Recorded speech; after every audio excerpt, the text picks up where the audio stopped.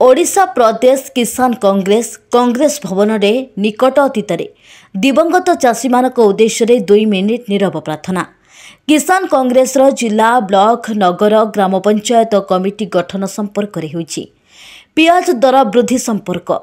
ପିଆଜ ଦର ବୃଦ୍ଧି ପିଆଜ ମିଶନ ଆଳୁ ମିଶନ ଉଭୟ ବିଜେପି ଓ ବିଜେଡି ଦଳ ପୂର୍ବ ନିର୍ବାଚନ ପ୍ରତିଶ୍ରୁତିର ବିଫଳତା ସମ୍ପର୍କରେ କରାଯାଇଥିଲା। କାଳିଆ ବଳିଆ ଯୋଜନା ଫସଲ ବୀମା ଭାଗଚାଷୀ ସମସ୍ୟା ଜଳସେଚନ ଓ ଚାଷୋପଯୋଗୀ ଜମି ଅଧିଗ୍ରହଣ ସମ୍ପର୍କରେ ଆଲୋଚନା କରାଯାଇଥିଲା ବୋଲି କଂଗ୍ରେସ କିଷାନ ସେଲ୍ର ଅଧ୍ୟକ୍ଷ ଅମିୟ ପଟ୍ଟନାୟକ କହିଛନ୍ତି। ପ୍ରତି ଜିଲ୍ଲା ସ୍ତରରେ ଚାଷୀ ମହାପଞ୍ଚାୟତ ଚାରୋଟି ଜୋନ୍ରେ ଆର୍ଡିସି କାର୍ଯ୍ୟାଳୟ ସମ୍ମୁଖରେ ବିଜେଡି ଓ ବିଜେପି ସରକାରରେ ଚାଷୀ ମାରଣ ନୀତି ବିରୋଧରେ ବିକ୍ଷୋଭ ପ୍ରଦର୍ଶନ ହେବ। ଏହି ବୈଠକରେ ପୂର୍ବତନ ମନ୍ତ୍ରୀ ପଞ୍ଚାନନ କାନୁନଗୋ ଉପସ୍ଥିତ ରହି ଉପଯୋଗୀ ତଥ୍ୟ ଉପସ୍ଥାପନ କରିଥିଲେ ଏହି କାର୍ଯ୍ୟକାରୀ ବୈଠକରେ ଓଡ଼ିଶା ପ୍ରଦେଶ କଂଗ୍ରେସ କମିଟି ସଭାପତି ଶ୍ରୀଯୁକ୍ତ ଶରଦ ପଟ୍ଟନାୟକ ପୂର୍ବତନ ଅର୍ଥମନ୍ତ୍ରୀ ବରିଷ୍ଠ କଂଗ୍ରେସ ନେତା ଶ୍ରୀଯୁକ୍ତ ପଞ୍ଚାୟନ କାନୁନ ଏବଂ ଅନ୍ୟ ନେତୃବୃନ୍ଦ ମଣ୍ଡଳୀ ଉପସ୍ଥିତ ରହିଛନ୍ତି ଆଜିର ପ୍ରସଙ୍ଗଟି ହେଲା ଯେଉଁ ଅହେତୁକ ଭାବରେ ଦରଦାମ ବୃଦ୍ଧି ହେଉଛି ସାଧାରଣ ଖାଉଟି ଅତ୍ୟନ୍ତ ହନ୍ତସନ୍ତ ଅବସ୍ଥାରେ ରହିଛନ୍ତି।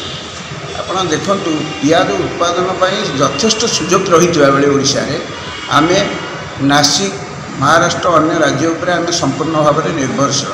ତା'ର କାରଣ ହେଲା ଆମର ଉତ୍ପାଦନ ବଢ଼ୁନାହିଁ ଏବଂ ଏରିଆ ସମ୍ପ୍ରସାରଣ ହେଉନାହିଁ।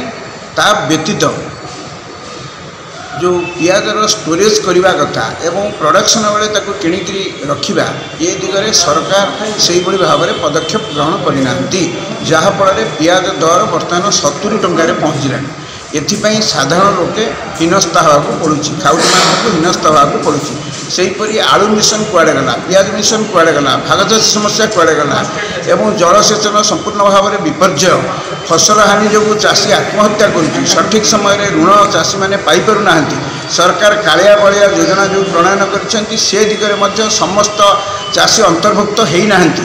এইভাবে অনেক সমস্যা চাষীঙ্কর রয়েছে সরকার সবুলে কালক্ষেপণ নীতি অবলম্বন করছেন এবং সরকারঙ্কর যে চাষীমাল নীতি এতে চাষী আত্মহত্যা করা বাধ্য হচ্ছেন ভুবনেশ্বর বিশ্বজিৎ দাসঙ্ক রিপোর্ট